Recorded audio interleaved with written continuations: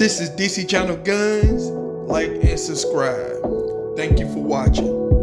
What up? This is DC Channel Guns coming at you know gun video. Appreciate you watching, like, sharing, subscribe. So I want to appreciate all my subscribers. want to appreciate all the good information. I appreciate y'all for coming to the video. Appreciate all the support and love. Appreciate everything that y'all do for the 2A community. Like I said before, y'all the star people. I'm just a messenger, just to every citizen trying to hold the Constitution and defend the Second Amendment. So with that said, appreciate y'all. Smash that like button, share it on your favorite social media platform. I appreciate everyone following me on Gunstream, support me over there. And I appreciate the ones come over here every single day through the good and the bad and ups and downs. Nothing moves in straight line, people. So let's get into it, people. Some more flying on the radar and stuff like that. Now, I know a lot of people is coming into the 2A community don't know about when it comes to far as gun restrictions and stuff like that, gun limits, firearm limits and stuff.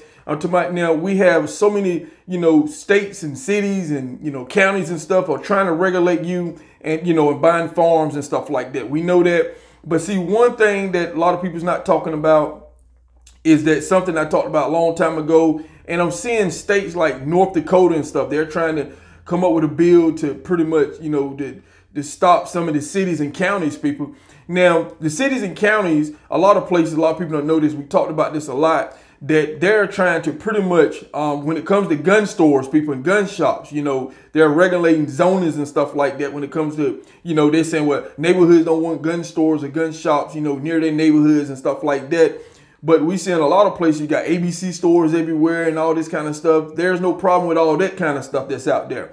But you know, when it comes to your gun shops and your gun stores, people, I talked about this about gun ranges and stuff you know how you know he have community you know complaining about the noise and stuff from gun ranges and stuff so they're pushing gun ranges far and far and far out and stuff like that they're trying to do the same thing with gun stores now some months and months ago we had all this civil unrest and stuff going on a lot of people was talking about you know i remember this to my i read the comments and stuff a lot of people was talking about you know in their area you know there was no gun shops and they were shut down and stuff like that they're basically trying to, you know, especially in the major cities and stuff like that, they're trying to push the gun shops further and further out, people. They don't want them in the cities and stuff. Counties are doing that. Such a huge problem. So I was looking at an article at, um, you know, about when it comes to North, North Dakota, how they had a bill trying to pretty much override um, some of the cities and counties because you have some of these cities and counties who they're they're trying to pretty much uh, you know, go go above the state the state laws and stuff like that. That is very serious and stuff. So when it comes to your gun stores and stuff, people they're trying to regulate them. They're trying to limit them and stuff, limit the firearm sales when it comes to gun stores and gun shops.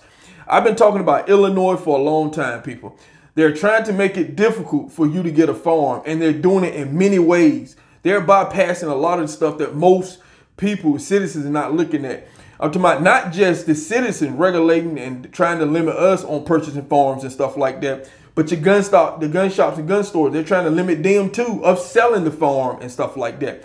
Because like I said before, most people go to gun shops, gun retailers to buy firearms and stuff like that. And don't forget online too. I'm talking about they're trying to regulate everything. So I kind of want to put this on your radar, people, and let you see uh, um, some of the stuff that is out there and stuff. We have a huge fight, people. This fight is will never be open when it comes to your Second Amendment. Like I said, we're fighting 360 degrees. There's not one side that we can't take our all right now. They're fighting us in the front, the back, the side, the side. About we got a huge fight ahead of us, people. So open your eyes, people. We ain't got time to sleep. Uh, I'm talking you know, like I said before, some people still asleep at the wheel and everything. We got, we got a lot of people coming off the sidelines, but we got more people that need to wake up and everything when it comes to your guns in this country and everything. So we got a huge fight ahead and stuff. So this is DC Channel Guns, and I'll catch you on the next one. This is DC Channel Guns. Like and subscribe. Thank you for watching.